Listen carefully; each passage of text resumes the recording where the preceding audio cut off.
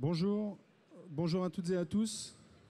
Alors, est-ce que vous m'entendez bien ici? On va faire un test aussi parce qu'on a une dizaine de personnes qui suivent euh, parmi nos partenaires euh, le comité à distance. Donc, on va juste s'assurer que le son est bon également à distance.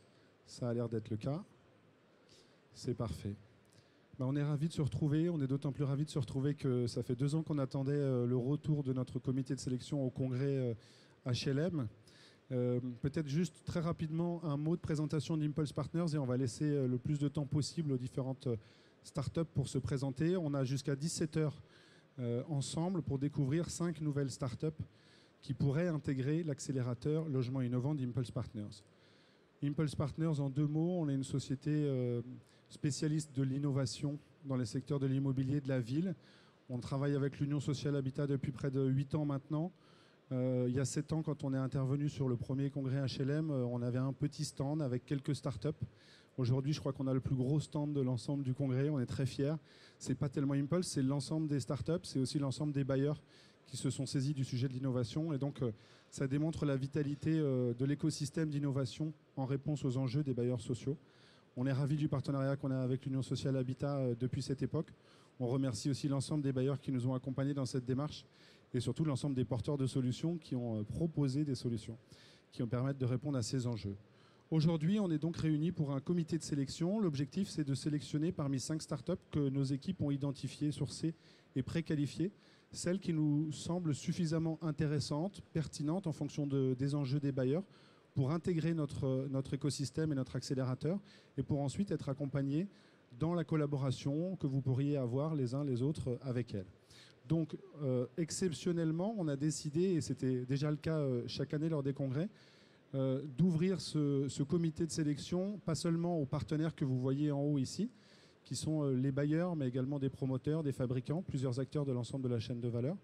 On a demandé aussi à un certain nombre d'autres acteurs, bailleurs, qui ne sont pas partenaires aujourd'hui, de venir compléter et apporter un regard nouveau aussi sur les solutions qui seront présentées. Donc vous voyez que ça a plutôt bien fonctionné, puisque on a 12 nouveaux membres de jury euh, qui sont présents aujourd'hui. On vous remercie d'avoir répondu euh, à cet appel. Voilà, un mot rapidement sur l'accélérateur logement innovant qui existe maintenant depuis 5 ans. Euh, on a envoyé un peu plus de 100 solutions qui ont été identifiées, sourcées, présentées à nos partenaires et qui aujourd'hui collaborent avec des bailleurs sociaux et aussi avec d'autres acteurs du logement, y compris des promoteurs et parfois des collectivités. On adresse sur, alors je ne vais pas détailler l'ensemble des solutions qui sont là, mais on adresse à peu près l'ensemble des métiers des bailleurs sociaux. On a fait un mapping ici qu'on pourra rendre disponible à ceux qui le souhaitent de l'ensemble des solutions qui ont déjà intégré l'accélérateur et qui donc euh, adressent l'ensemble des thématiques et des, enjeux. Voilà, aujourd'hui on va faire un focus donc, sur cinq solutions. Alors vous les voyez, elles sont en tout petit, on va les revoir dans quelques instants, et qui adressent donc volontairement sur ces cinq solutions les différents métiers. On souhaitait ne pas rester sur une verticale à l'occasion de ce comité euh, exceptionnel lors du congrès. Je, vais te céder la parole, de Joséphine. Encore une fois, on est vraiment ravis de voir que nos partenaires répondent présents. Vous voyez, on manque presque d'espace pour accueillir tout le monde et on est très content. Joséphine va vous expliquer le déroulé. Euh, c'est très timé. Les startups sont elles-mêmes dans les starting blocks, prêtes à intervenir pour se présenter. Il faudra aller assez rapidement aussi dans la manière de les évaluer. Euh, et puis, euh, bah, on restituera évidemment les résultats de l'ensemble de ce comité par mail à tous les participants et tous les membres du jury. Un grand merci, un bon comité à tout le monde et je laisse Joséphine, qui est responsable de l'accélérateur, animer l'ensemble de la séance de pitch. Merci beaucoup. Voilà, donc. Ah, me dis d'enlever mon masque. Bonjour à tous. Euh, donc, euh, cette session de pitch va se dérouler euh, de la façon suivante. Les startups ont toutes 7 minutes pour vous présenter leurs solutions et leurs projets. ensuite, il y aura 3 minutes de questions-réponses. Et puis ensuite, vous serez amené à voter euh, sur un certain nombre de critères pour l'intégration de ces solutions dans notre écosystème. Euh, donc les critères euh, sont l'offre, le marché, l'équipe et puis le financement, la capacité à financer le projet proposé. il y a un dernier critère qui est celui de l'adéquation avec l'accélérateur, donc les différentes thématiques qui vous ont été montrées juste avant. Et puis, il vous est aussi donné la possibilité de mettre un coup de cœur à ces startups euh, le coup de cœur euh, vous met en relation avec elle, donc pour poursuivre les discussions. Voilà, donc Michaela euh, va passer dans les rangées avec un, QR code qui va vous permettre de vous connecter à une plateforme, vous renseigner uniquement votre nom, prénom, votre organisation et puis votre email afin qu'on puisse vous renvoyer les résultats de ce comité par mail. Avec les résultats seront communiqués un dossier de candidature que toutes les startups doivent remplir qui détaille plus, plus en détail donc, les spécificités technologiques proposées par écrit. Voilà, donc le programme du jour, nous aurons ThermiUp, Homeland, 12.5, Neteos et puis enfin Icomen. Voilà. ici, si jamais vous voulez euh, gagner un peu de temps, vous pouvez rentrer euh, le lien euh, dans votre barre de recherche. il est un peu long. Ou venir flasher le QR code d'ailleurs plus proche. N'hésitez pas à vous lever, hein, ça mettra un peu d'animation. De, ça marche? Parfait. Pour le premier rang, ça marche.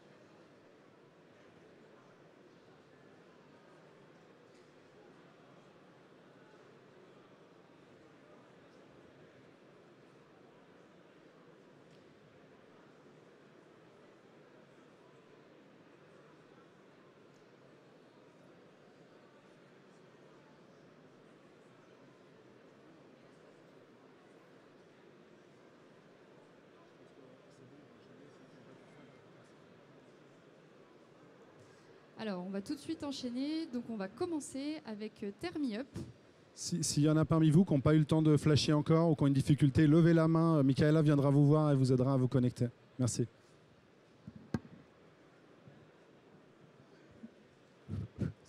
Donc il y a un petit timer juste ici.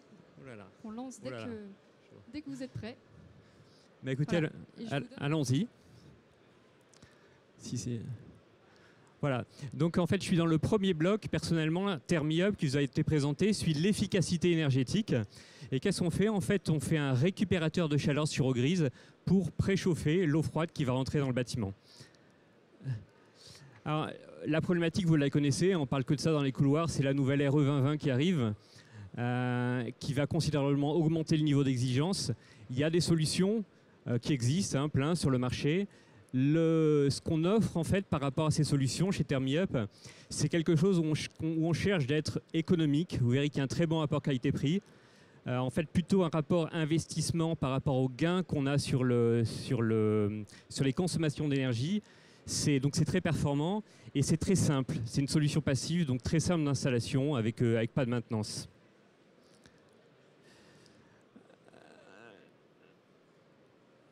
Euh, alors comment ça marche C'est assez simple. Hein. En remplacement d'une... Il y a toujours une colonne de chute PVC dans un bâtiment, des eaux usées. Et au, rez-de-chaussée de cette colonne, on vient remplacer cette colonne PVC par notre récupérateur. Euh, l'eau de chaque appartement froide rentre à 13 degrés dans l'appartement. Elle va croiser à contre-courant l'eau euh, de la douche qui va arriver à peu près à 33 degrés et elle, donc elle va ressortir à 25 degrés et l'eau préchauffée et ainsi va alimenter la douche et le chauffe-eau et permettre d'économiser jusqu'à 30% d'énergie sur le poste au chaud sanitaire. Euh, c'est compatible avec toutes les énergies, hein, c'est-à-dire que cette euh, solution, vous pouvez l'utiliser avec une chaudière gaz, comme vous pouvez l'utiliser avec un, chauffe-eau dynamique, un ballon, etc. Quel que soit le générateur d'eau chaude sanitaire. Donc, quelle que soit l'énergie et quel que soit le, générateur. Ce qui, rend, je vous ai parlé du fait que ça avait un très bon rapport investissement par rapport au gain énergétique. Ce qui est rendu possible dans ce, dans ce produit, c'est qu'on met en fait un seul récupérateur par colonne de chute. Donc comme ça, en fait, on arrive à diviser le coût par appartement de façon assez significative. En fait, la deuxième solution qu'on offre, c'est un peu une extension de la première, qui, est, vraiment qui est, qui est brevetée, qui, euh, en fait, c'est ce qu'on appelle le booster. Par rapport à un échangeur euh, traditionnel, en gros, on vient accélérer par différentes procédures l'efficacité de récupération de l'échangeur, ce qui fait qu'on monte de 30% à 50% le gain d'énergie.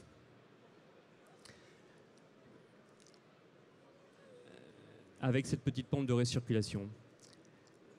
Encore plus intéressant, en fait, on, euh, y a une, on, a une autre solution où on fait autre chose de cette. Euh, au lieu en fait de l'eau préchauffée, de l'utiliser euh, pour l'eau sanitaire et de ramener cette eau dans l'appartement, on vient en fait faire tourner l'eau préchauffée en boucle. Et cette boucle sert en fait de, de source de chaleur pour alimenter des pompes à chaleur au haut. Ce qui fait qu'en fait, finalement, on arrive à faire de la géothermie sans géothermie. Donc on peut mettre des packs, des pompes à chaleur très performantes, les pompes à chaleur OO, qui sont les, plus performantes, sans avoir à faire euh, ces coûteux, à creuser ces coûteux forages géothermiques. Voilà, donc on arrive avec une solution, on pense, qui, répond bien aux, attentes du marché, euh, puisque ce qui nous a valu d'ailleurs un Innovation Award au, dernier euh, Batimat Interclimat. Pourquoi? Ben, Vous l'avez vu, c'est performant, hein, ça fait des gains assez intéressants en, étant, en ayant un bon ratio euh, gain par rapport au coût d'investissement. C'est une solution totalement passive. Donc euh, ça c'est bien parce que l'entretien est quasiment nul, la durée de vie est longue et donc ça veut dire pas de coût de maintenance pour, euh, pour le locataire. C'est très simple d'installation parce qu'en fait, il n'y a, pas de, a pas de réglage, il n'y a pas de, pas, il a, pas d'électronique, pas de moteur, il n'y a rien de tout ça, c'est passif. Donc finalement, pour un plombier, c'est de la plomberie. C'est juste, il vient installer comme il aurait installé, il se connecte comme il connecte du PVC et il se connecte au tube d'alimentation euh, PER, multicouche, cuivre, ce qu'il veut, juste en sertissant comme il fait pour tout, euh, tout produit de plomberie.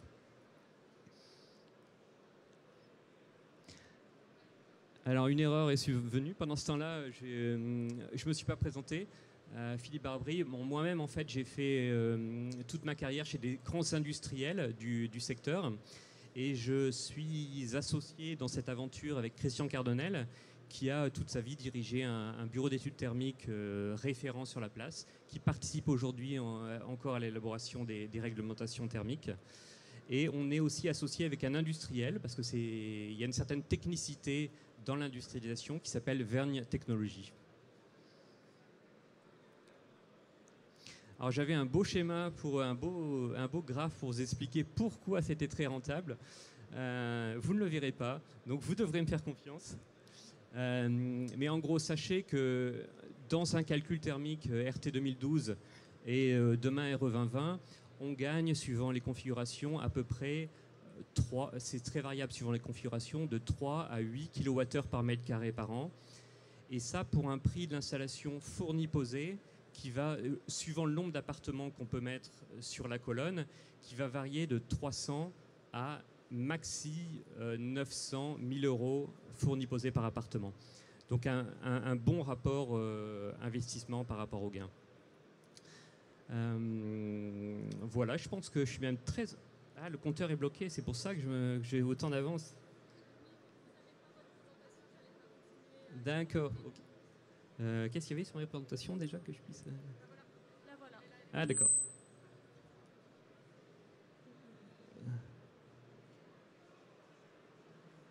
Voilà, on me demande un peu de vous parler de, notre business model. Euh, donc, on vise principalement le, du, le segment du logement collectif, neuf ou en rénovation. Euh, donc évidemment, ce qu'on, les gens qu'on va, qu'on va chercher à convaincre, bah, c'est, les bailleurs sociaux, c'est les promoteurs, c'est, les syndics en rénovation. Euh, nos prescripteurs, évidemment, euh, phares qui vont nous aider, on l'espère, à, mettre, à déployer cette solution, c'est, bah, les bureaux d'études et les architectes. Hein. on fait de la vente directe parce que c'est un produit de prescription, donc il n'y a pas un intérêt énorme à passer par la distribution. Donc en fait, on facture et on accompagne l'installateur avec un cycle de vente qui est assez long, hein, c'est le cycle de vente du bâtiment, euh, le temps que vous mettez à construire des bâtiments. Par contre, on espère une forte récurrence quand vous aurez été convaincu de, l'efficacité du rapport euh, coût-performance que vous, qu'on sera prescrit de façon récurrente sur les chantiers. Et voilà, on a une, une valeur moyenne de chantier qui est autour de, 18 000 euros, ça dépend du nombre de récupérateurs qu'on met. voilà, il me reste une minute pour synthétiser. Voilà, trois, solutions. Euh, ECS, 30%, ce qu'il faut retenir de gains. 30% euh, de, gains sur le poste au chaud sanitaire, qui représente généralement en neuf 50% du besoin total, bon, beaucoup moins en réno. Thermiup plus booster 50% euh, et Thermiup boucle pack 80%. voilà, le taille du marché, aujourd'hui en fait il y a à peu près 300 000 d'après les stats officiels, appartements qui sont rénovés en rénovation thermique par an. Euh, et c'est amené évidemment avec le plan de relance à augmenter. Déjà en fait c'est un chiffre qui en 5 ans est passé à peu près de 200 à 300 et normalement on s'attend à ce que ça monte euh, jusqu'à, on espère, 400. Voilà, il y a aussi le, ça c'est la rénovation, il y a aussi du neuf, 240 hein, 000 appartements construits. Euh, et l'export, pourquoi pas. Je vous ai présenté donc euh, moi-même, Christian et, les Vergnes.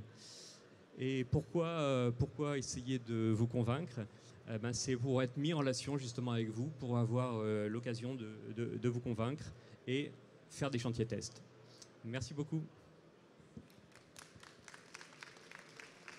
Merci beaucoup. Ah oui, question. Ouais, voilà. Merci beaucoup Philippe. Alors, y a-t-il des questions? À distance aussi, vous pouvez poser vos questions. Alors, il y a une première question là-bas.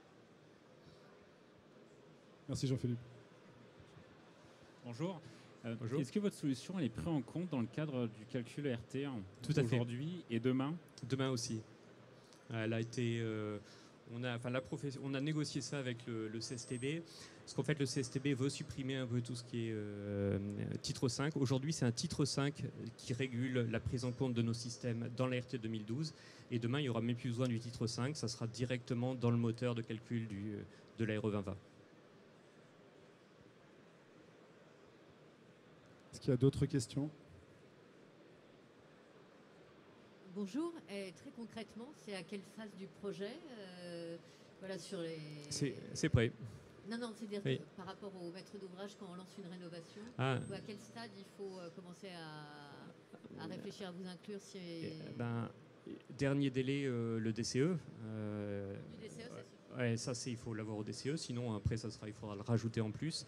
Donc c'est en fait entre très en amont, quand vous avez l'idée, l'envie, jusqu'au DCE pour que ça soit chiffré par l'entreprise. y a-t-il une dernière question?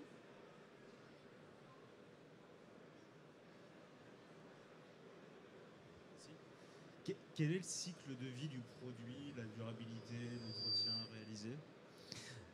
C'est un tube cuivre, concrètement. Euh, enfin, c'est fait à base de tube cuivre. Donc, je serais, tenté de dire la durée de vie d'un tube cuivre. On en a découvert dans les pyramides. Euh, après, je, euh, je pense qu'en fait, le produit étant totalement passif, il est amené à avoir la durée de vie. Actuellement, on travaille sur la FDES de données sanitaires environnement et, on est parti avec le consultant sur une durée de vie de 50 ans, qui est la durée de vie euh, classique du bâtiment. On a une autre question en digital. Alors, c'est pas nous. Euh, il y a une autre question en digital euh, qui est de savoir quel est le gain pour un bailleur. Ben, en fait, le gain, c'est de faire bon, un, gain énergétique, hein, concrètement, mais c'est de le faire surtout avec un système simple. Euh, un système qui est passif. Et ça, ça veut dire en fait ben, pas de charge supplémentaire, parce qu'il n'y a, pas de contrat d'entretien. Euh, il n'y a, de, a, pas de contrat d'entretien que vous allez avoir avec un installateur ou avec le fabricant, puisque c'est un produit passif. Euh, et il n'y a pas de contrat d'entretien et il n'y a pas non plus de réparation. Il a pas de. La plupart des systèmes, il faut prévoir de changer un onduleur, de changer des choses, etc. Comme je vous l'ai dit, comme c'est passif, c'est c'est pour vos locataires c'est des baisses de charges, donc pour vous des loyers qui rentrent mieux. Euh, notamment, ça, répond aussi à votre vocation de, bailleur social. Et c'est euh, ça sans, entretien et sans, sans coût. Euh, ça fait baisser les factures pour vos, les habitants sans avoir de contrat de maintenance qui pourrait rajouter un surcoût. Merci beaucoup. Alors, s'il y a d'autres questions, on organise un cocktail à la suite de ce comité sur notre stand au village des startups. Donc, vous pourrez retrouver mmh. Euh, les différents intervenants. Et je vais passer la parole. et donc aussi, n'oubliez pas d'aller voter sur le lien sur lequel vous êtes connecté. Euh, voilà. Et on va accueillir la start-up suivante. Voilà. Merci. Merci.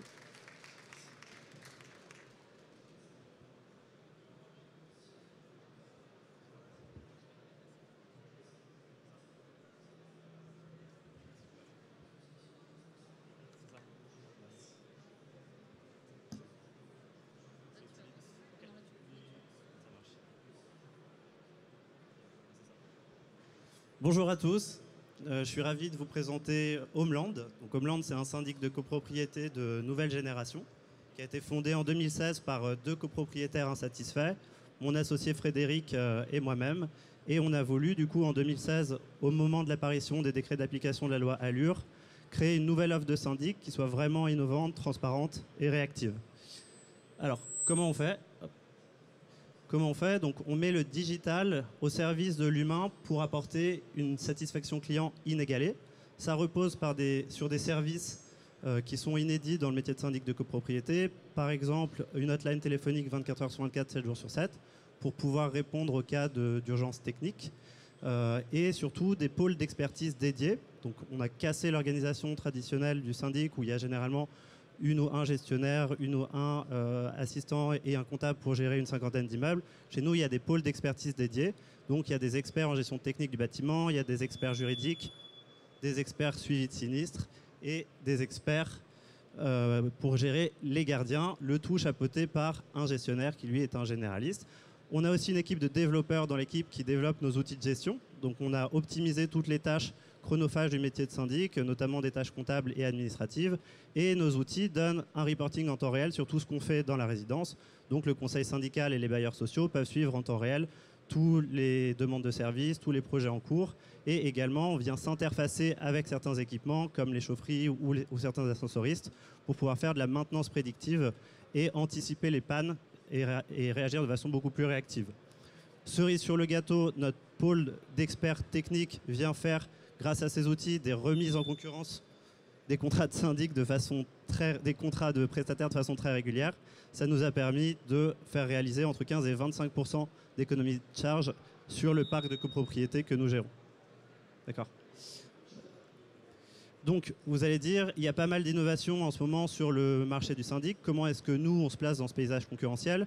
Pour nous, il y a vraiment deux types d'acteurs. Les acteurs non digitalisés. Donc il y a des grands groupes qui essayent de se digitaliser, mais c'est un peu compliqué de, délivrer de l'innovation quand on a une taille comme, Foncia, Citia, Nexity. Et il y a plein de nouveaux acteurs euh, qui sont plus jeunes que nous et qui vont adresser d'autres parties du marché. Par exemple, vous avez entendu parler de Matera, qui est un, un logiciel pour syndic bénévole. Et donc ça vient adresser les petites copropriétés. Euh, nous, on est le seul syndic qui, grâce à cette organisation en pôle de compétences, peut venir adresser les très grosses copropriétés.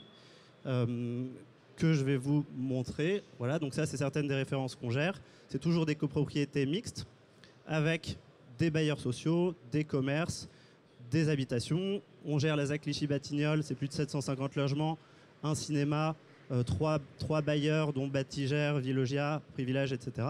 Et donc notre offre permet de gérer de façon très réactive ces très gros ensembles grâce à notre expertise et à notre organisation en pôle de compétences appuyée par les outils que je vous ai décrits. Aujourd'hui, on est présent en Ile-de-France, euh, à, Lyon, à Nantes et à Bordeaux. On gère 350 copropriétés. On a une garantie financière de 15 millions d'euros, hein, puisqu'on est syndic professionnel. Euh, on a fait une première levée de fonds de 2 millions d'euros en 2019. 23% d'économies réalisées en moyenne sur les charges courantes de notre parc. Et on a une équipe de 50 salariés actuellement. Et le modèle économique, c'est un contrat de syndic professionnel qui démarre à 11,99 euros par lot et par mois. Ce qui fait qu'actuellement, on travaille avec un certain nombre d'institutionnels qui nous font confiance. Donc pour les immeubles neufs, par exemple, euh, ben, des promoteurs viennent nous nommer en syndic provisoire parce qu'ils ont compris qu'on va être très compétent pour gérer la réception des parties communes, les levées de réserve, le suivi des réserves, la mise en place des prestataires. Euh, on a un certain nombre de bailleurs sociaux aussi dans notre parc. Et donc on sait que les bailleurs sociaux voilà, ont des attentes en termes de réduction des charges de copropriété, de sélection des prestataires, d'accès à l'information. Et donc, on met en place un portail dédié pour les bailleurs sociaux qui peuvent accéder à l'information de façon euh, vraiment facilitée. Et donc, on est là pour faciliter la vie de ces institutionnels et de leur donner une interface unique pour suivre euh, toutes, ces, informations. Sur l'équipe, donc, donc euh, les deux associés, Frédéric et moi-même, ne viennent pas du milieu de l'immobilier. Frédéric était dans une banque d'affaires avant, donc il faisait de la finance. Moi, je travaillais chez un administrateur judiciaire. Je m'occupais des copropriétés en difficulté.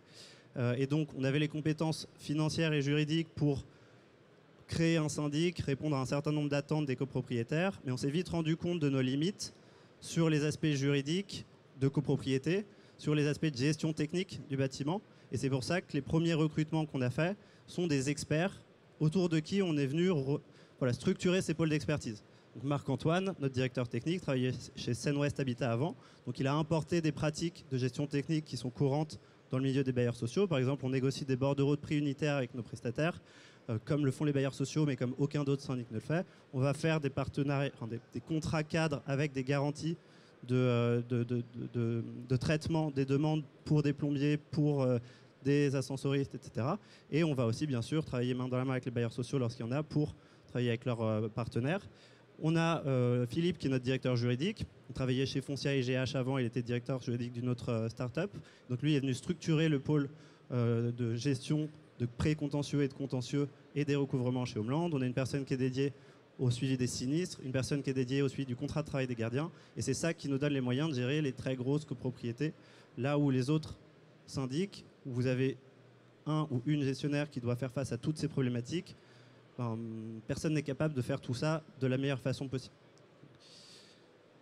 Et Guillaume, évidemment, notre euh, CTO, qui euh, dirige notre euh, équipe de développeurs qui travaille sur nos outils pour rendre tout ça, ce travail collaboratif dans les immeubles possible et le plus fluide possible. Voilà, c'est fini pour cette présentation. Donc il reste un petit peu de temps, je pense, pour résumer en deux mots. Du coup, c'est un syndic qui a été créé en 2016. Euh, on avait venait pas de ce milieu, donc on n'avait pas de réflexe de gestion de syndic traditionnel. On a voulu construire une offre structurée autour d'experts parce qu'on pense que c'est très important dans les grandes copropriétés que vous ayez le bon niveau d'expertise pour répondre aux besoins de la résidence, euh, avec des outils collaboratifs qu'on développe en interne, qui peuvent venir s'interfacer avec les prestataires pour que vous ayez une information en temps réel sur tout ce qui se passe, y compris sur les équipements. Et donc, par exemple, voilà, on, s'interface avec des acteurs comme Coquelicot, qui fait des répartiteurs de frais de, des répartiteurs de, chaleur, comme des ascensoristes connectés, comme des chauffagistes connectés. Et donc, vous avez aussi accès à la consommation de, euh, des parties communes en temps réel. voilà, on veut que ce soit le plus transparent possible pour fluidifier vraiment la communication avec les acteurs institutionnels euh, du bâtiment. Merci beaucoup. Merci beaucoup Renaud. Alors, y a-t-il des questions?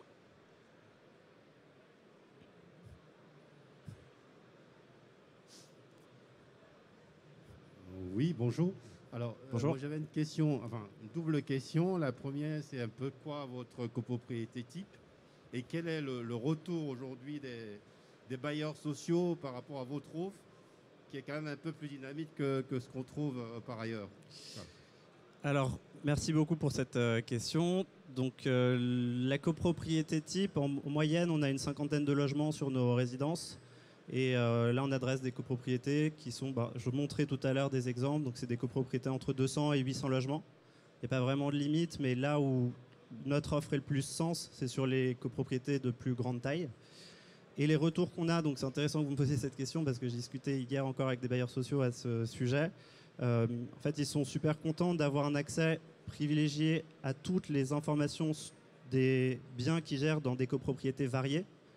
Euh, et donc euh, là où nous, Homeland, on gère ces copropriétés-là, on va pouvoir monter les appels de fonds dans les délais qui, eux, leur conviennent, par exemple, faire un accès à l'information privilégiée. Ils ont un compte pour consulter toutes les informations de toutes les copropriétés qui sont dans le parc qu'on gère. Voilà, donc on peut vraiment faire des canaux privilégiés de communication avec eux. Donc ça, on en est très content et c'est pour ça qu'on est là aujourd'hui. C'est peut-être pas habituel d'avoir un syndic au, salon de, voilà, à ce salon. Mais euh, l'enjeu, c'est qu'aujourd'hui, on a des très bons retours et je pense que les bailleurs sociaux ont beaucoup de choses à gagner euh, à travailler avec nous. Et bien sûr, la réduction des charges. Merci beaucoup. Alors, il y a des questions en digital.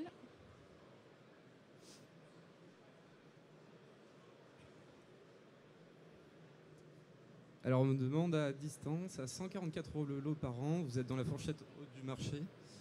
Euh, quelle économie pour le bailleur? Dans la fourchette haute? Alors ça dépend de dans quelle région vous êtes. en Ile-de-France, c'est vraiment la fourchette euh, basse. Après, les économies pour le bailleur, ben, j'ai un petit peu euh, expliqué dans quelle mesure on faisait un gros travail pour réduire les charges. Donc ça, c'est notamment parce qu'on a un pôle qui est dédié à ça dans le pôle technique tous les ans, ils remettent en concurrence les différents contrats. Ensuite, c'est toujours le conseil syndical qui choisit, hein, ou l'AG.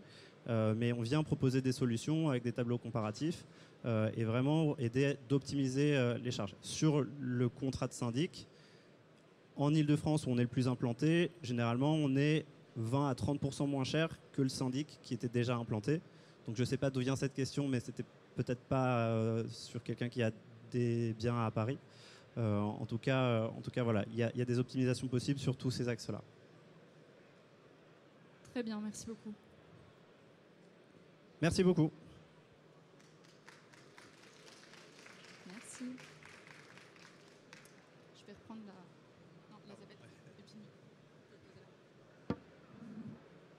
Alors, vous avez encore euh, deux minutes pour euh, pouvoir répondre au, au questionnaire en ligne.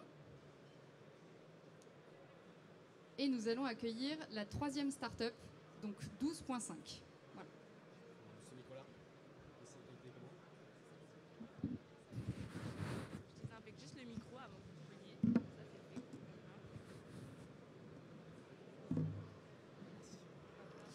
Bonjour tout le monde. Euh, beaucoup d'être là et euh, je suis très heureux de présenter 12.5. 12.5, c'est euh, la première application de parking pour les vélos, de parking dédié au stationnement sécurisé pour les vélos. Et c'est le, point de départ de 12.5 à l'origine. C'est un constat, un double constat d'évolution des pratiques dans les mobilités urbaines. la première grosse tendance qu'on avait identifiée, c'est la baisse de la pratique voiture dans les centres-villes. Euh, mécaniquement, cette baisse de la pratique voiture a engendré une augmentation de la vacance dans euh, les parkings de copropriété, plus particulièrement des bailleurs sociaux. Euh, il y a beaucoup d'immeubles qui avaient été pensés dans les années 70-80 avec deux places de voitures par foyer, alors qu'aujourd'hui, dans beaucoup de centres-villes en France, on est à moins de 0,4 ou 0,5 voitures par foyer. Donc mécaniquement, il y a des places libres. Et à contrario, il y a eu une explosion ces dernières années euh, de la pratique de roues et plus particulièrement vélo euh, dans les centres-villes. Cette explosion de la pratique vélo, elle est aussi bien en volume, avec euh, de plus en plus d'utilisateurs qui décident d'aller travailler en vélo, de se déplacer en vélo dans les centres-villes, que en valeur, avec un panier moyen du vélo qui est passé de 200 à 2000 euros ces dernières années avec l'arrivée du vélo électrique. Et donc le, le, concept de 12.5, c'est de mettre en relation les, bailleurs propriétaires des 12.5 mètres carrés euh, qui sont disponibles sur une place voiture inoccupée avec les utilisateurs de deux roues en recherche euh, de solutions de stationnement sécurisées pour leurs véhicules. Donc 12.5 en fait recycle des espaces de stationnement sécurisés disponibles euh, pour les mettre en accord avec l'évolution des mobilités dans la ville. L'utilisation de l'appli 12.5, c'est très simple c'est euh, tout d'abord, on remplit euh, sur la carte 12.5 son adresse pour trouver le parking 12.5 le plus proche de chez soi ou de son lieu de travail. Euh, parmi l'ensemble des partenaires qui référencent des parkings dans lesquels ils avaient des places plus difficiles à remplir avec de la voiture. une fois qu'on a trouvé son parking le plus proche de chez soi, on référence le type de deux roues qu'on utilise, vélo, vélo cargo, scooter, trottinette. On choisit ensuite sa durée d'abonnement, si on a besoin pour un mois, six mois ou un an. Et enfin, en 48 heures, on reçoit son badge d'accès au parking et un plan d'accès qui nous mène jusqu'à sa place vélo ou scooter euh, pour 18 euros en moyenne par mois pour un vélo. Alors, le marché est assez difficile à établir sur les vélos détenus dans les villes. Mais ce qu'on sait, c'est qu'avant la crise du Covid et avant euh, les grèves des transports de 2019, on décomptait près de 645 000 vélos détenus à Paris. Ce chiffre, il a forcément augmenté à Paris comme dans toutes les villes. Et cette tendance, si on s'intéresse un peu à ces utilisateurs de deux roues, leurs deux besoins majeurs historiques, c'est un besoin de sécurité en circulation, sur les ronds-points, dans les, dans les voies de bus, etc., et de sécurité en stationnement. Face à l'explosion euh, des utilisateurs de deux roues et plus particulièrement de vélos, on peut voir que l'augmentation des pistes cyclables a suivi cette tendance, menée par de nombreuses politiques municipales, l'augmentation du nombre de pistes cyclables euh, a été notable dans la plupart des grandes villes et des villes moyennes en France. En revanche, le volume d'espace de stationnement sécurisé n'a pas suivi le nombre d'utilisateurs qui a explosé. Et c'est devenu le principal besoin d'un utilisateur de vélo, c'est de se dire, mais où je vais mettre, notamment pour les vélos électriques, où je vais mettre un vélo qui devient de plus en plus cher, euh, face au vol, face à la crainte du vol et du vandalisme dans la rue. Aujourd'hui, si on cherche les acteurs spécialisés, vraiment centrés sur ce besoin du stationnement sécurisé vélo et de roues, il n'y a, qu'une seule plateforme, c'est 12.5, qui est 100% dédiée à ça. Des acteurs voitures commencent à mettre des espaces vélos, etc., qu'on référence d'ailleurs sur 12.5, mais un acteur 100% spécialisé et dédié dans le stationnement de roues, il n'y a que 12.5 qui est existant aujourd'hui. Le business model, il est très simple.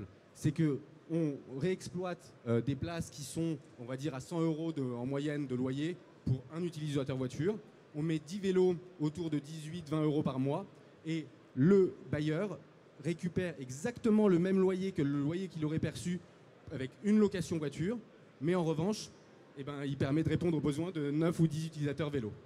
Donc euh, c'est euh, des contrats de mise à disposition de places qui étaient anciennement vides, car difficiles à louer avec la baisse de la voiture, pour les réexploiter euh, au service des mobilités en demande, c'est-à-dire les mobilités douces, principalement le vélo. En moins d'un an de commercialisation de la plateforme, on a déjà référencé 450, 450 parkings pardon, aujourd'hui uniquement dans Paris, mais on a vocation à en ouvrir d'autres sur les autres villes en France. et près de 900 abonnés vélo à date, euh, qui utilisent quotidiennement leur parking, euh, soit sur leur lieu de travail, soit sur leur lieu de résidence. Euh, ce service permet donc à la fois pour les bailleurs d'avoir un revenu complémentaire sur des places qui étaient de plus en plus difficiles à louer avec la voiture, tout en ayant une solution clé en main pour mettre en place la transition de l'actif immobilier souterrain, on va dire, avec à la fois les besoins bah, de plus en plus présents dans les villes et à la fois avec les politiques euh, municipale poussée par les pouvoirs publics. L'équipe, donc on est, euh, pour mener à bien ce projet, on était deux associés. Donc Diego Delamarre, qui est un expert un peu e-commerce euh, de sites, référencement et applications, et moi-même qui faisais du conseil en optimisation organisationnelle chez Ernst Young, principalement dans les, dans les contrats de délégation de services publics. Notre plan de développement, au départ, il y a un an, on présentait à la mairie de Paris un plan d'objectif avec 300 abonnés la première année. On risque d'atteindre les 1000 abonnés euh, avant la fin septembre. Euh, donc on peut dire que la phase expérimentale a été plutôt réussie. Et aujourd'hui, les deux axes de développement majeurs euh, qu'on a, c'est de bah, étendre ce service sur de nouvelles villes qui, en ont, qui en ressentent le même besoin et augmenter les services associés au stationnement vélo qu'on a préparés en amont, qui sont l'abonnement 12.5 assurance pour son vélo et l'abonnement 12.5 maintenance pour pouvoir, sur l'application, demander une réparation, un changement de roue, etc., dans son parking. Sur euh, euh, les, éléments financiers, il y a juste un point qui est intéressant, c'est que ce modèle de revenu récurrent par des abonnements mensuels, semestriels, annuels, avec des charges variables grâce à des contrats de mise à disposition des places vides, permet d'avoir une structure financière rentable dès l'année 1, malgré des investissements assez lourds en installation, en ancrage au sol, pour permettre la tâche des vélos. Et euh, pour résumer, bah, la demande pour pour euh, bah, rentrer dans Impulse Lab, c'est tout simplement pour euh, continuer à déployer à Lyon, à Bordeaux, à Lille, à La Rochelle, à Strasbourg et dans l'ensemble des villes qui ont ce même besoin de stationnement vélo sécurisé, tout en cherchant à ne pas, euh, comment dire, abonder la voirie d'installations lourdes, coûteuses en espace vélo, en plus des pistes.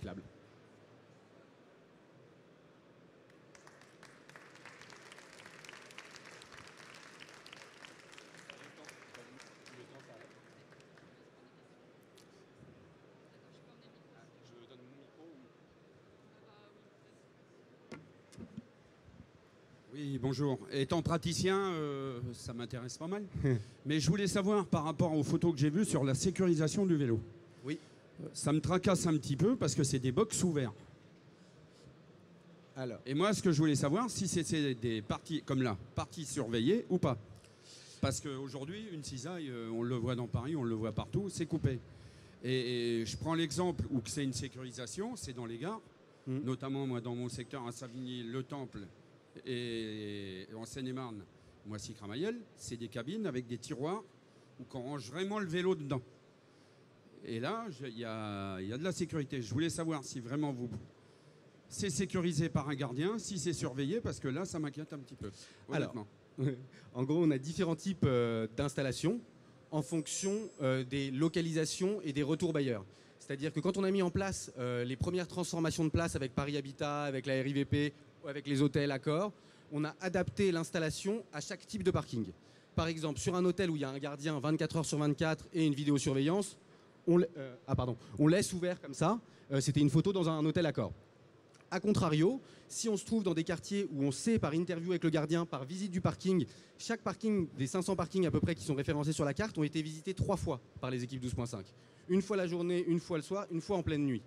Et si on estime qu'il y a le moindre doute d'un point de vue sécurité, que ce soit squat, vandalisme, enfin, quelle que soit la raison d'insécurité, le parking est exclu de la carte 12.5 Et si il est, on va dire, un peu middle, on ne sait pas trop si c'est insécurisé ou pas, il est boxé entièrement. Et donc, pour l'abonné, il reçoit à la fois le badge d'accès, à la fois la clé d'ouverture de son box et à la fois sur chacune de nos installations individuelles, il y a une sorte de stop and go vélo qui a un ancrage au sol avec une énorme chaîne scooter mise à disposition de l'abonné dont seul l'abonné a la clé pour éviter du squat de personnes qui utiliseraient les installations. Donc c'est vraiment du cas par cas et de l'étude un peu territoriale euh, en fonction des retours du gardien de chaque parking, c'est quand même ceux qui connaissent le mieux leur parking, euh, et euh, des visites qu'on a effectuées, des comptes rendus de visites qui ont été effectués par 12.5. Oui, non, ça c'est dans les hôtels où il y, a une surveillance 24 heures sur 24. Dans les cas euh, d'hôtels bailleurs où on a identifié des risques d'insécurité euh, en collaboration avec le bailleur, dans ce cas-là, on met des box ou alors on exclut le parking de la carte.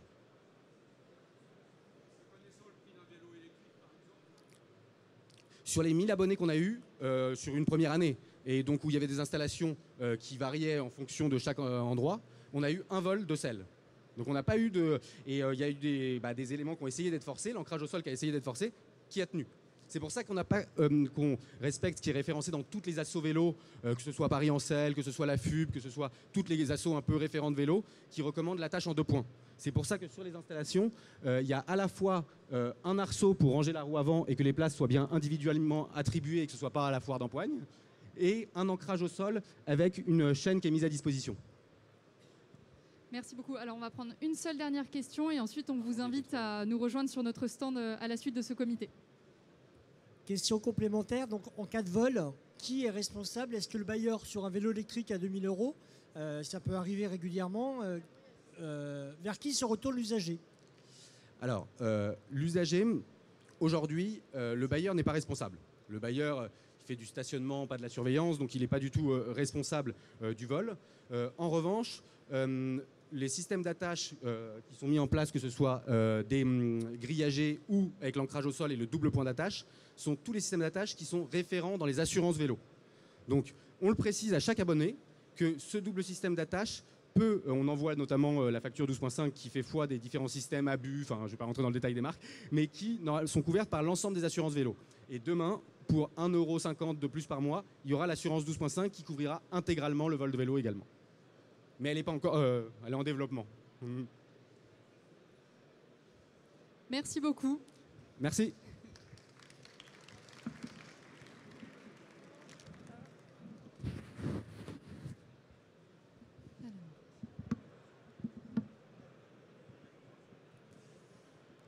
Alors, on a perdu le signal. Ah non, c'est bon.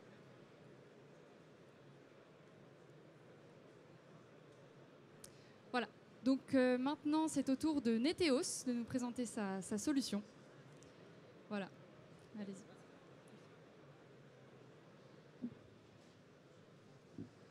Bonjour à tous. Merci. Écoutez, je suis ravi de pouvoir vous présenter Neteos. Avant ça, je vais, je vais me présenter moi-même. Donc, je m'appelle Farouk. Euh, je suis responsable des partenariats chez, chez Neteos. Je travaille pour l'entreprise depuis euh, 4 ans maintenant. Et euh, après une stratégie où on a beaucoup développé le marché direct historique de l'entreprise, qui est euh, le marché de la banque et de l'assurance, on a choisi de développer cette partie euh, partenariat, principalement éditeur de logiciels, avec laquelle aujourd'hui on travaille sur le marché des, des bailleurs sociaux. Donc Neteos, c'est une entreprise qui a été fondée en 2004 par son actuel dirigeant, Olivier Détour. c'est une entreprise qui est basée à Montpellier, où euh, moi, quand j'y suis rentré, il y a, il 4 ans, donc euh, on était une dizaine de personnes et aujourd'hui on est un peu plus de 33 et la totalité de l'effectif est basée à Montpellier. C'est principalement une entreprise euh, tech qui développe de la technologie sur des process d'enrôlement à distance, d'entrée en relation à distance, où on va vérifier l'identité de la personne, proposer de la contractualisation, de la signature électronique, et, euh, euh, aussi vérifier des pièces justificatives. Et ça, je rentrerai un petit peu plus en détail dans ce qu'on fait, notamment pour les bailleurs. Pour présenter notre équipe, bon, je ne vais pas le faire pour tout le monde, mais Neteos, c'est, comme je vous l'ai dit, une entreprise tech. Donc, la moitié de l'effectif euh, est à la recherche et développement. On a aussi une équipe produit, un, un, service client et un service sales et marketing, nos services généraux et la production qui est très importante puisqu'on est tiers de confiance, on subit euh, beaucoup d'audits on a des certifications et ça c'est une partie hyper importante de protection de données, comme on traite beaucoup de données personnelles, à, maintenir et, et, à développer encore. Nos solutions, on a deux solutions principales la solution Trust and Sign qui permet de faire de la vérification d'identité à distance. Alors qu'est-ce que c'est la vérification d'identité à distance? C'est les processus d'enrôlement où on va euh, demander un document d'identité à la personne qui va être vérifié en automatique en quelques secondes dans, le processus d'acquisition de, la pièce. Et on va pouvoir faire des retours en temps réel à l'utilisateur pour lui dire que la, personne, euh, la, pièce soit n'est pas la bonne, soit euh, il y a une erreur parce qu'il a fourni la pièce de son conjoint ou de sa conjointe par exemple. Et c'est aussi vérifier, donc là on parle plus d'usurpation d'identité, euh, lors d'un selfie vidéo, la preuve de vie et le fait que le visage corresponde bien au visage qu'on a sur le document d'identité. Aujourd'hui, c'est un sujet très important parce que l'ANSI en France a sorti une certification, ça n'existait pas avant, euh, qui s'appelle euh, le PVID, qui permet aux autorités de confiance comme n'était Osley d'avoir une certification en tant que prestataire de vérification d'identité à distance. Et ça, c'est quelque chose qu'on va beaucoup retrouver dans les années à venir parce que la, vérification d'identité à distance, et on l'a tous connu pendant la période Covid, euh, sur les sujets d'entrée en relation à distance, va être de plus en plus présente. Et pour éviter les fraudes, il va falloir avoir des mécanismes et des certifications et des opérateurs certifiés pour assurer la transaction en toute confiance. L'autre partie, c'est la signature électronique. Donc là, j'en ai parlé. Dans le domaine du logement social, on travaille avec des acteurs sur la, signature électronique du, bail, par exemple, et ça peut être aussi sur des usages internes euh, avec des fournisseurs euh, ou autres. Donc la signature électronique, c'est euh, j'identifie le, signataire par potentiellement un document d'identité, mais c'est aussi un code SMS, un code qu'on reçoit par SMS pour valider la transaction. Donc je pense que tous ici, on l'a vécu peut-être à un moment donné avec notre banque ou avec un autre organisme de ce type. Et enfin, la vérification de documents. Donc ça, c'est l'utilisation des technologies qu'on a sur les vérifications de documents euh, d'identité, qui ont été décuplées sur le portefeuille de pièces justificatives euh, que vont être les, revenus, euh, les, justificatifs de domicile et, d'autres documents de ce type-là sur lesquels on a fait des apprentissages qui nous permettent de faire de la vérification automatique. Et ça, ça va être un vrai sujet sur la vérification des dossiers candidats locataires pour de l'attribution qu'on fait pour CDC Habitat, Winly ou Action Logement sur les plateformes comme Aline par exemple. Euh, et euh, j'ai perdu ce que je voulais dire, mais ça me reviendra plus tard sur une autre slide. Et donc toute cette technologie-là, est, principalement on la retrouve dans notre autre produit qui est euh, PrevenGo, et c'est l'API qui est utilisé principalement dans, Trust and Sign sur ce sujet-là. Donc le contrôle de justificatif, qu'est-ce que c'est? Ben, ça se passe en, en, quatre étapes. Je vais faire très rapide sur cette partie-là pour pas trop rentrer dans la technique, mais on vérifie la qualité, on vérifie le type et la validité de la pièce, on vérifie la cohérence des, informations et l'authenticité pour détecter les fraudes. Ça, on le fait sur le portefeuille de justificatifs principalement utilisé chez les bailleurs aujourd'hui, qui est euh, ici, hein, l'identité, euh, les bulletins de salaire et, les avis d'imposition. Et l'idée, c'est de, vérifier la complétude et la conformité du dossier par rapport à la cohérence qu'on va pouvoir établir entre l'ensemble des pièces.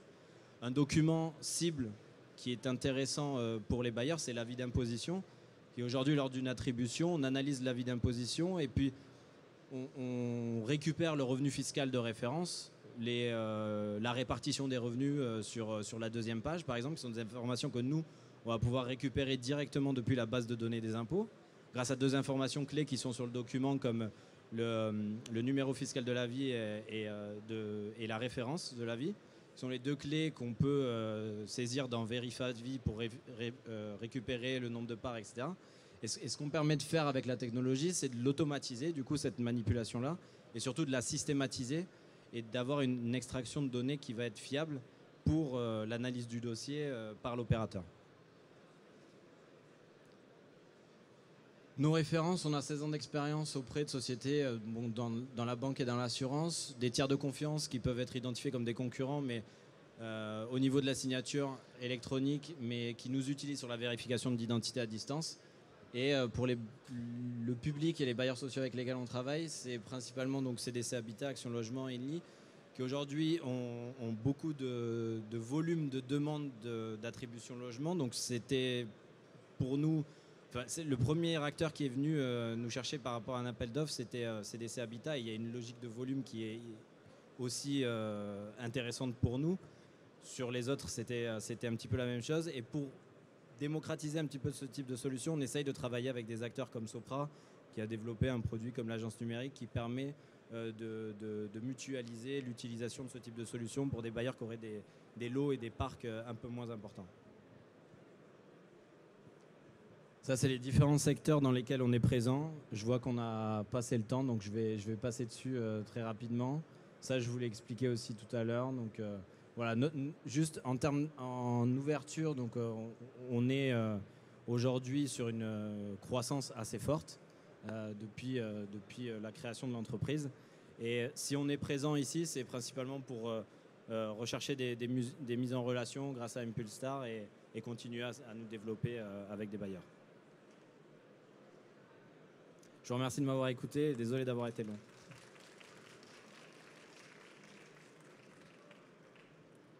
Alors, toujours pareil, y a-t-il des questions?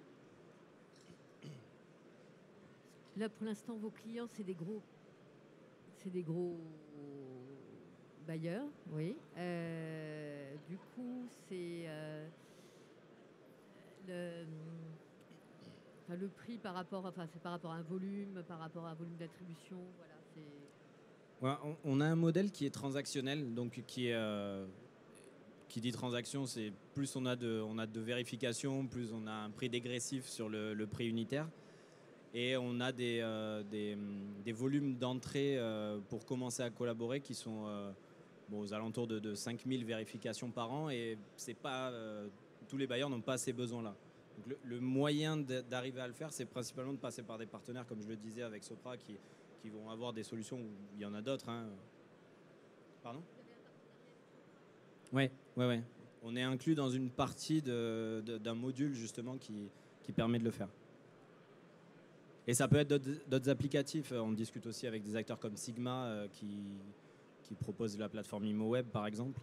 Et c'est le principal levier de, qu'on a aujourd'hui pour développer les bailleurs qui ont moins de volume.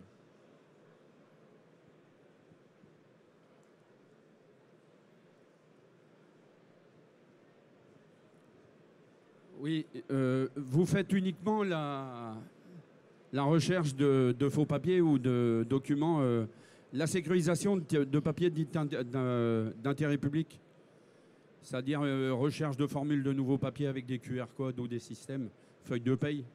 Parce que je sais que moi je suis dans une ancienne société Safran, ou Safran Sécurité, ils sont en train de rechercher ça. Mais vous, vous faites uniquement la détection par scannerisation? Ou vous êtes dans les études de projet comme ça J'ai du mal à saisir la question par rapport au QR code. Non, c'est-à-dire que vous faites, votre start-up est uniquement dans le type de matériel de détection de faux papiers, ouais. ou vous êtes dans la recherche de viabilisation des dossiers importants, de trouver des systèmes. On est dans la recherche aussi. Tous ah, les nouveaux mécanismes qu'on peut utiliser pour fiabiliser la vérification qu'on va faire sur un document, on, est, on essaie de les mettre en place. Et ça, c'est dépendant de, à la fois des recherches qu'on fait euh, nous-mêmes. Typiquement, le document d'identité, les technologies qu'on a commencé à utiliser dessus en 2015, on était les premiers à le faire parce que la, la, fiabilisation de la lecture d'un document d'identité, on le retrouvait beaucoup euh, dans la police aux frontières où euh, les opérateurs fournissaient des scanners pour euh, visualiser le document et vérifier que tout était bon. Mais sur les modes de consommation où c'est l'utilisateur qui va utiliser son smartphone pour prendre en photo son document, ces technologies-là fonctionnaient moins bien et du coup on a développé nos propres algorithmes d'analyse d'image couplés à l'intelligence artificielle, donc machine learning, deep learning, pour avoir un, taux de lecture qui soit le meilleur possible. Donc ça c'était le premier effort qui était énorme sur le document d'identité et sur les autres, on continue à le faire. Évidemment, on est avant tout une société tech qui fait de la recherche et développement. Merci beaucoup. Merci. Merci à tous.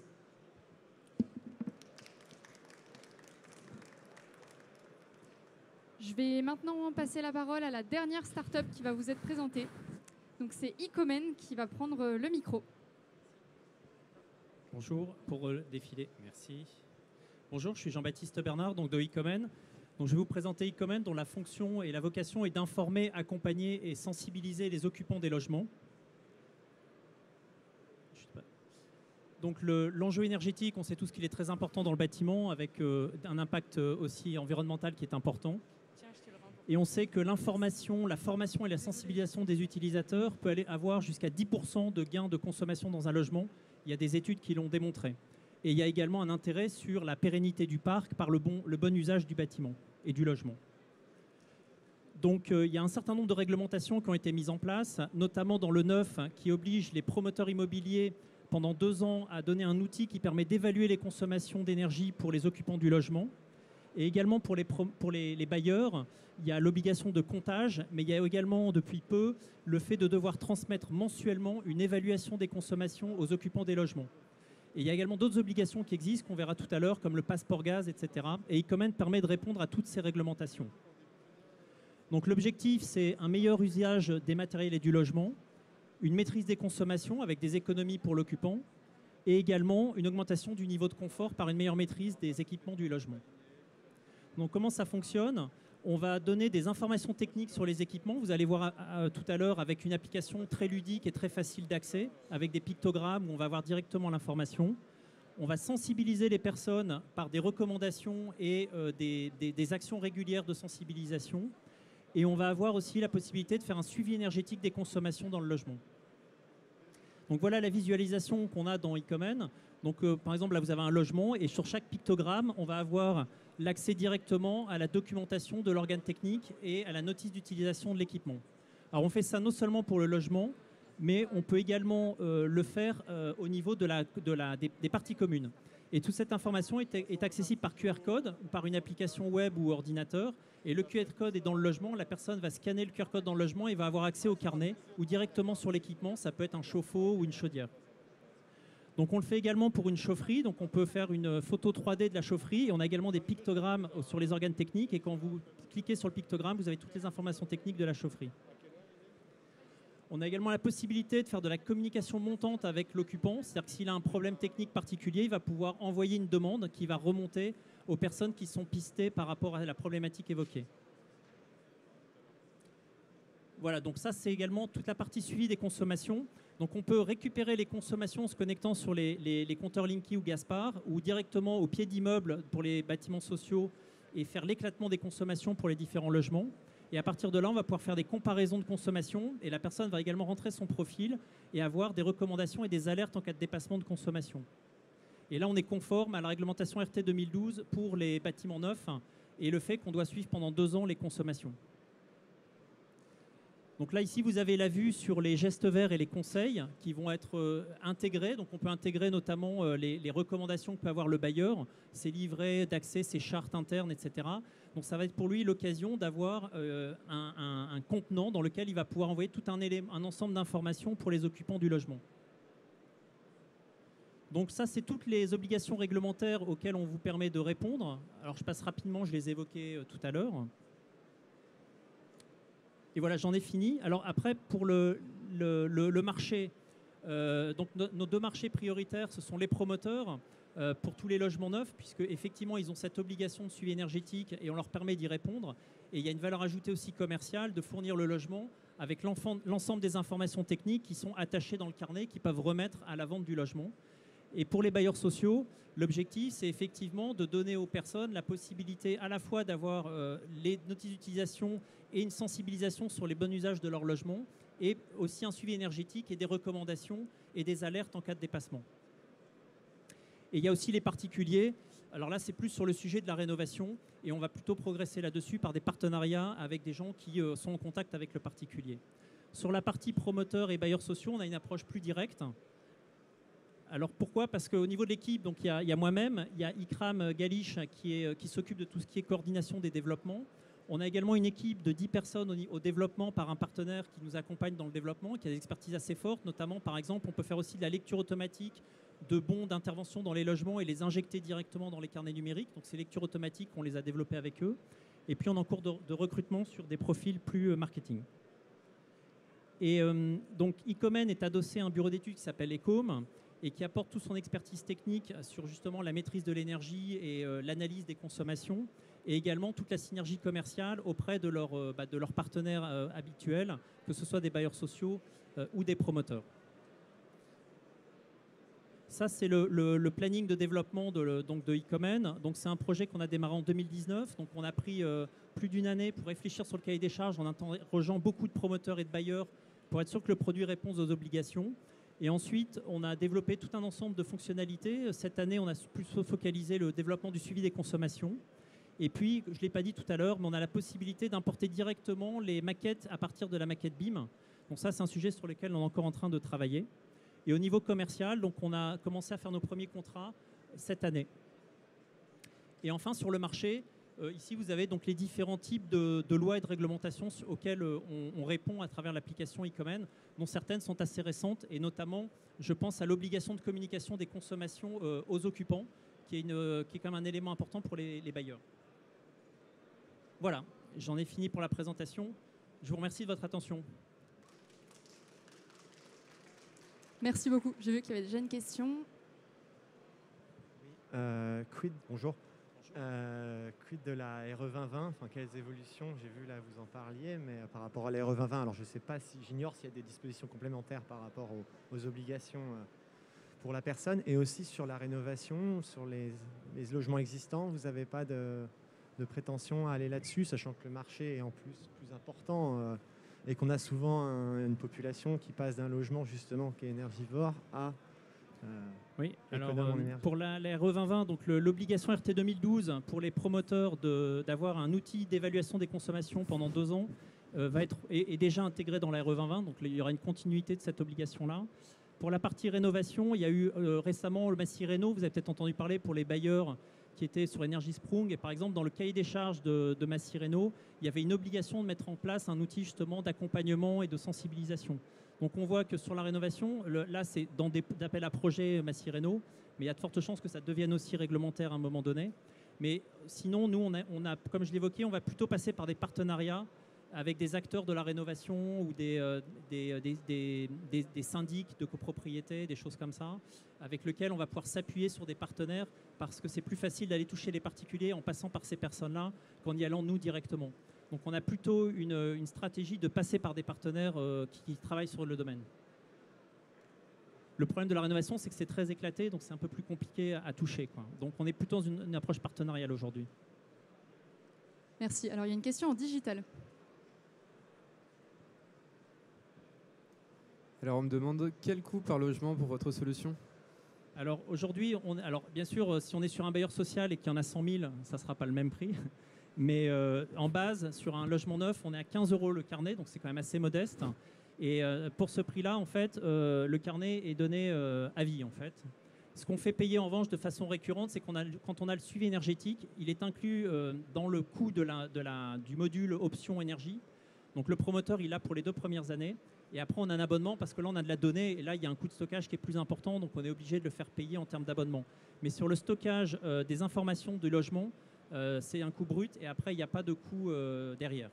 Ce qui est important pour les promoteurs, parce qu'effectivement, quand ils, donnent le logement avec le carnet, ils ne veulent pas engager la personne qui prend le logement à un abonnement.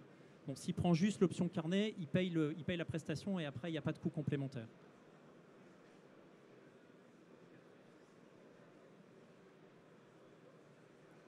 Alors, est-ce qu'il y a d'autres questions, peut-être?